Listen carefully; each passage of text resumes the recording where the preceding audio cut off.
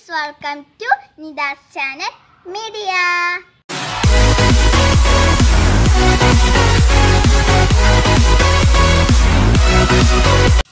അപ്പൊ ഇന്ന് നമ്മൾ വന്നിട്ടുള്ളതെന്ന് വെച്ചാൽ നമുക്ക് എങ്ങനെ സിമ്പിൾ ആയിട്ട് ഒരു ചോക്ലേറ്റ്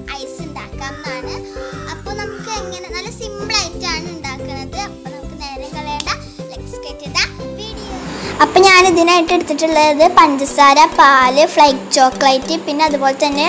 ഒരു